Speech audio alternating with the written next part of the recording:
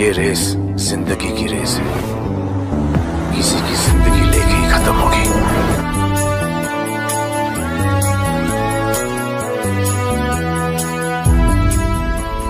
कौन बनेगा एसीपी किस तरह से पुलिस को फ़िल्म में किया जाएगा शामिल?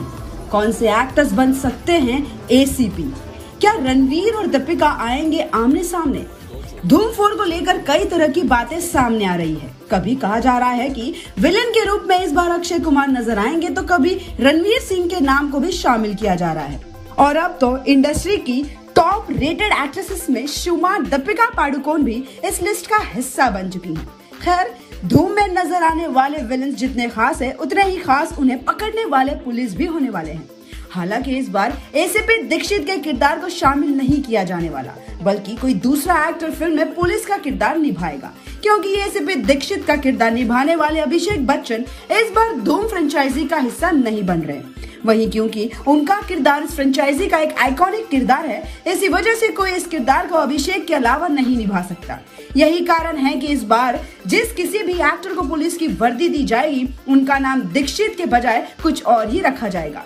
वहीं अंदाज की बात करें तो इस बार राउडी पुलिस के किरदार को शामिल किया जा सकता है। हर बार विलन को सुपीरियर दिखाने वाली इस फ्रेंचाइजी में इस बार पुलिस के अवतार में काफ़ी बदलाव लाएगी ताकि फ़िल्म में विलन और पुलिस के बीच कांटे की टक्कर नज़र आए।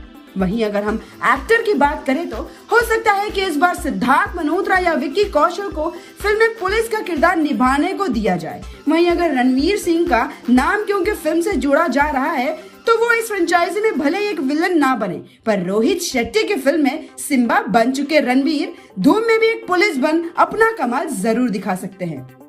वहीं अगर धूम की इस नई फ़िल्म में अक्षय एज अ विलन बन रहे हैं तो हमें फिर एक बार रणवीर और अक्षय की जोड़ी देखने को मिलेगी। हालाँकि इस बार फ़र्क यही होगा कि जहाँ अक्षय सूर्यवंशी के बाद धूम में सीधे विलन के रूप में नज़र आएँगे, वहीं रणवीर फिर एक बार पुलिस के अवतार में दर्शकों के सामने दिखेंगे, जो फ़िल्म को काफ़ी एंटरटेनिंग बनाने वाले हैं। फीमेल विलन के रूप में दीपिका सबका ध्यान अपनी तरफ़ खींचेंगी। वहीं पुलिस के अवतार में नज़र आ रहे रणवीर बिल्कुल धूम टू की याद दिलाने वाले हैं।